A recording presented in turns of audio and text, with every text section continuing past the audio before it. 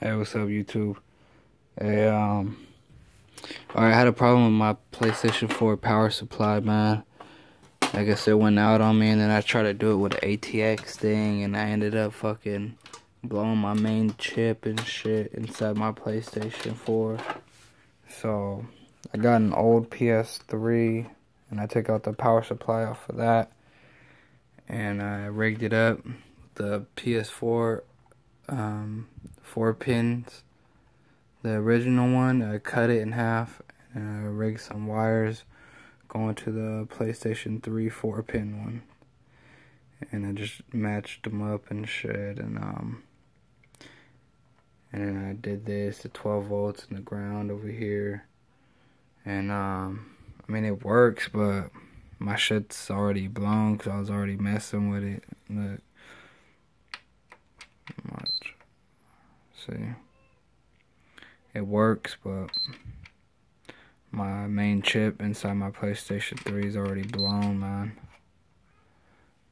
So, because I already, I mean, my PlayStation 4, sorry, because I was already experimenting with this ATX power supply, and I ended up fucking running 12 volts on the ground just to see if my PlayStation would turn on, because I didn't know if I had the right wires on and I ended up frying the main chip. So I bypassed I bypassed it to make sure that it's my not my power supply, my it's my motherboard. And this is what I did to bypass it. I I rigged a um a wire right here on this last this last pin right here and on this last pin right here and I jumped a wire between both of them as you can see one two right here. One two. I jumped a wire between both of them to see if it's either my power supply which I knew it wasn't and to see if it's my motherboard which I know it is. See it'll turn on whatever but it'll shut right back off. Check it out.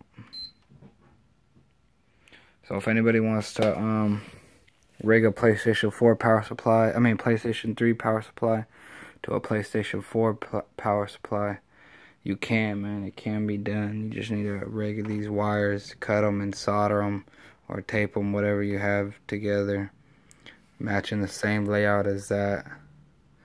And then just rigging this up. Look, that's just for now. I was going to solder that together and stuff to make it look nice like I did with this one. I took the old PlayStation 4 um, from my power supply. I took the pin thing off and I soldered them on and then I just fucking plugged it right in, you know.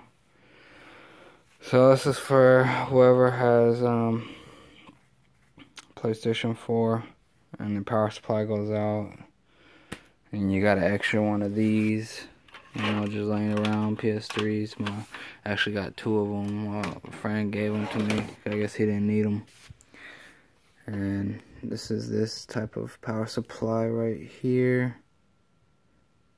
So, yeah, that's it, man. You know, if you guys want to know more, man, comment, let me know. So I'm about to probably get rid of this for parts and shit, because, I mean, it's blown. There's nothing I could do, you know. Alright, man. Peace out.